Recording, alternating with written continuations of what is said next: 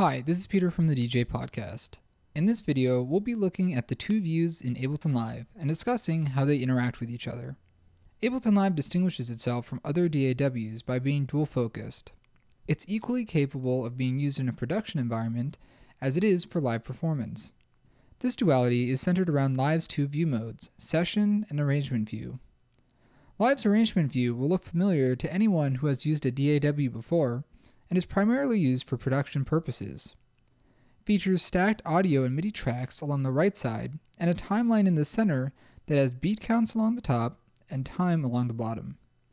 To change the views, simply press the Tab key on your keyboard or on one of the view selection buttons in the top right. The session view features vertical audio and MIDI tracks that hold rows of clips called scenes. Clips within a scene can be triggered individually or together as a group of sounds. Below the scenes are the familiar I.O. settings and mixer controls that you'd find in other DAWs. The session mode is primarily used for performance, but can also be used as a sketchpad for new productions.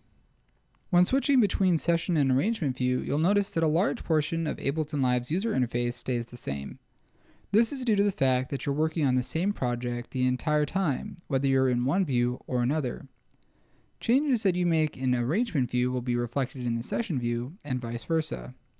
For example, if I go ahead and rename this audio track, and then I switch to the arrangement view from session view, you'll see that that change is reflected there as well. One other feature that's really nice is that you can drag and drop clips from one view to another. Because it is so easy to switch between views, it is also easy to make changes in one that are unintentional. Thankfully, Live has a built-in safety check system. If you make a change in the session view that conflicts with what is present in the arrangement view, Live will not commit to making that change. Instead, it will temporarily let the change take effect and the Back to Arrangement button will light up.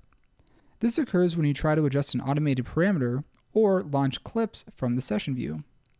By pressing the Back to Arrangement button, Live will revert the changes that you made in the session view. If you like this Ableton Live video tutorial, check out our other videos and subscribe at youtube.com slash thedjpodcast or at thedjpodcast.com. Thanks for watching.